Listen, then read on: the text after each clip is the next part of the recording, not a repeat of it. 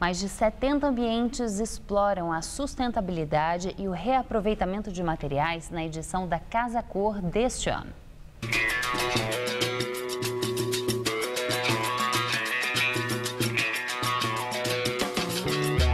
Neste ano, a Casa Cor tem a proposta de mostrar ideias brasileiras de corpo e alma. Imagine então, num ambiente cheio de glamour, uma parede de pau a pique. Dá um toque rústico e, ao mesmo tempo, inovador, né? Por ser antigo, mas ao mesmo tempo é inovador. Os arquitetos também apresentam soluções para apartamentos cada vez menores. Este aqui tem 21 metros quadrados. Para ter espaço para circular durante o dia, a cama fica suspensa lá no teto. Mas na hora de dormir, é só puxar num sistema de contrapeso e voa lá. Cama e de casal, hein? Já na área de sustentabilidade, todos os ambientes usaram luz de LED. E com a falta d'água, como ficam os jardins, hein? Ele é um jardim esteticamente duro, aí a gente esbarra em cactos, em agaves, em dracenas, em laços de fita. No mundo com recursos cada vez mais escassos, o desafio é reaproveitar mais e gastar menos, inclusive na hora de morar. Que tal então essa proposta? Um container.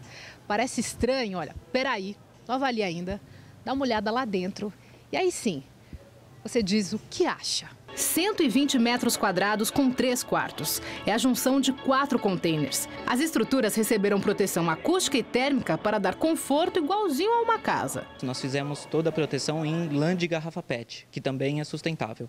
Você pode cortar o container em vários lugares, todos os ambientes aqui tem janela, portas e tudo mais. Muito mais rápido do que a construção normal. Um ano na alvenaria convencional, com estrutura, com tudo mais, aqui você fez em 15 dias com revestimento, com tudo. Aqui do lado de fora, ó, mais container. Aí subindo aqui, dois, três degraus, encontramos a piscina.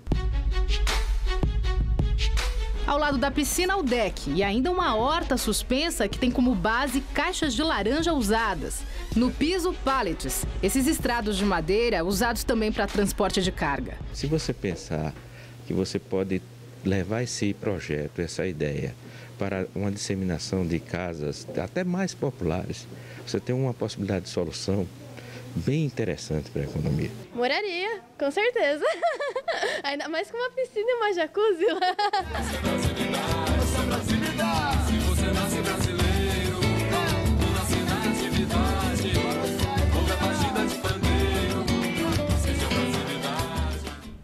A Casa Cor fica até 12 de julho no Jockey Clube de São Paulo. Os ingressos custam 48 reais entre terça e sexta-feira e 60 reais aos sábados, domingos e feriados.